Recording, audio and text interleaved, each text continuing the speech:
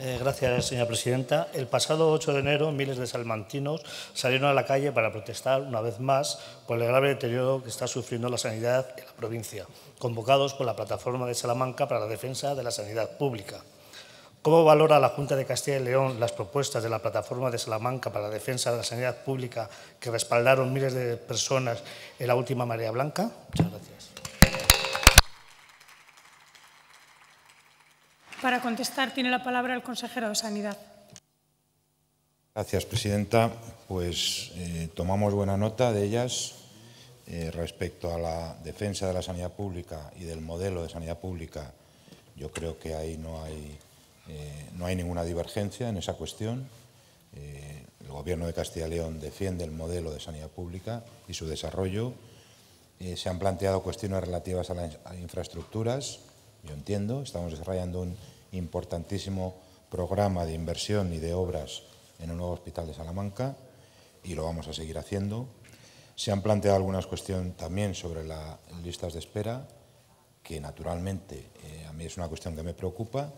En los, dos, en los últimos seis meses se ha reducido de manera importante la lista de espera quirúrgica, pero tenemos que seguir eh, disminuyendo los tiempos y el número de, de pacientes y finalmente se han planteado algunas otras cuestiones que tienen que ver con la gestión, eh, con algunos cambios en el interior del hospital que naturalmente estamos estudiando y estamos valorando para seguir trabajando en esa dirección. Muchas gracias.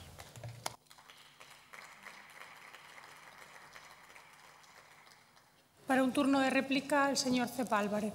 Eh, gracias, presidenta. Gracias, señor consejero. Y, sinceramente, me gustaría quererle lo que nos ha dicho esta, esta tarde. Pero hay dos imágenes que muestran la lamentable situación por la que atraviesa la sanidad salmantina en los últimos tiempos, consecuencia de los recortes y la mala gestión desarrollada en el complejo asistencial de Salamanca apoyado por el Partido Popular.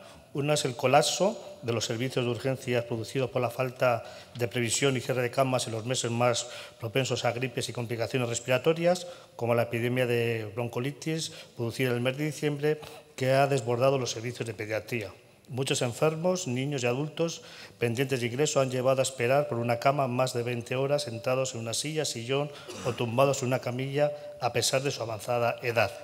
Y otra es la salida de autobuses a las 7 de la mañana transportando pacientes de la sanidad pública camino de otras ciudades para ser intervenidos quirúrgicamente, incluso en días festivos en clínicas privadas, porque los almantinos, a los almantinos perdón, se les niega el derecho a ser intervenidos en nuestros hospitales públicos en un tiempo prudencial. El hartazgo de los almantinos ha motivado ya a lo largo de estos años varias manifestaciones, cada vez más numerosas, exigiendo una sanidad pública y de calidad y un no a los recortes. La última, este pasado mes de enero, una de las más numerosas, ponía encima de la mesa una serie de reivindicaciones muy sensatas a juicio del Grupo eh, Parlamentario Socialista y quiero entender que también del resto de los grupos de esta Cámara. El Grupo Parlamentario Socialista lleva trayendo a cada Comisión de Sanidad situaciones de este deterioro, tanto a nivel global como local. Caso paradigmático es el tema de la especialidad de pediatría y fundamentalmente las urgencias con notificaciones en todas las áreas sanitarias, especialmente las rurales. Así, por ejemplo, las últimas manifestaciones en la zona de Vitigudino, la provincia de Salamanca. Las listas de espera, ya que en Salamanca junto con el Hospital de Bierzo, son las que presentan peores resultados de la comunidad autónoma, tanto en los días de espera como en el número. Y ya da igual que sea consulta especializada como de cirugía incluso ya en asistencia primaria. A esta situación se suma el número de camas cerradas sin ningún criterio sanitario objetivo eh, que obedece más a cuestiones económicas que asistenciales.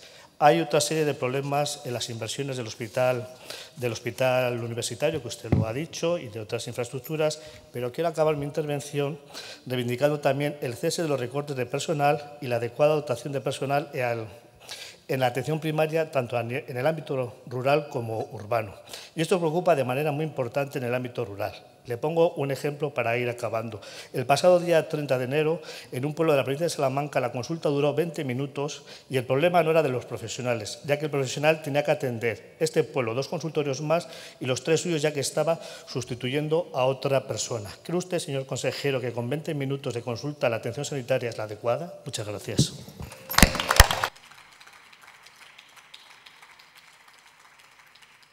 Para un turno de dúplica, el consejero de Sanidad. Gracias, señora presidenta. Pues empiezo por el final. Depende. cuántos pacientes hay que atender. Si hay que atender a un paciente, pues es bastante buen tipo de atención. Si hay que atender a dos también. Y si son más de tres, pues ya no es tan adecuado. Entonces depende. Eh, pero voy al grueso del asunto. Claro, señorías, que usted dice unas cosas. Eh, fíjese qué ejemplo le voy a poner yo, que me comentaban ayer. Eh, médico que va al consultorio local y está 20 minutos esperando, no se presenta ningún paciente y se vuelve al centro de salud a seguir desarrollando su trabajo. ¿Qué le parece eso? Yo creo que los casos concretos vamos a abordarles de manera concreta. Pero voy al grueso de las cosas. Obras. El año, eh, se están haciendo las mayores inversiones en el Hospital de Salamanca. La mayor inversión que está haciendo la Junta en los últimos años, no la Consejería de Sanidad, la Junta de Castilla y León se está haciendo en el Hospital de Salamanca. 32 millones invertidos en el año 2015, 27 en el 16, 38 en el proyecto en el que estamos trabajando para el, para el año 17. Usted podrá decir que es mucho o poco. Yo creo que es bastante y, y da tiempo a que terminemos la obra adecuadamente.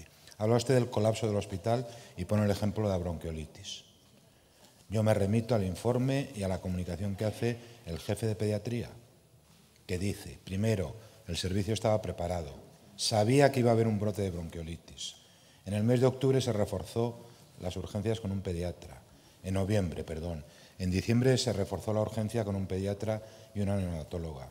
Se habilitaron camas adicionales y a pesar de eso el hospital estuvo tensionado porque había muchos niños que atender. Pero qué desastre es ese en la gestión que incorporamos antes de que se produzca el brote, no lo digo yo, lo dice el jefe de pediatría, reforzamos guardias, incrementamos camas, reforzamos personal. Dice usted, esto es un desastre en la gestión. Esto es que ha habido un brote de bronquiolitis más intenso que otros años y que efectivamente ha presionado mucho al servicio de pediatría. Pero nada de poner en riesgo la vida de los lactantes, como he oído decir algún compañero suyo. Sí, algún compañero suyo, sí. Por lo tanto, si ese es el ejemplo de la mala gestión, yo me tiene que terminar. que los servicios han dado una respuesta adecuada. En fin, y seguiremos hablando de este tema y yo también le pido, señor Cepa, a que nos ayude también a prestigiar al Hospital de Salamanca. No solamente a, a plantear sus problemas, sino de vez en cuando a plantear ya, que es un hospital de referencia y es un magnífico hospital con magníficos profesionales y resultados. Muchas gracias.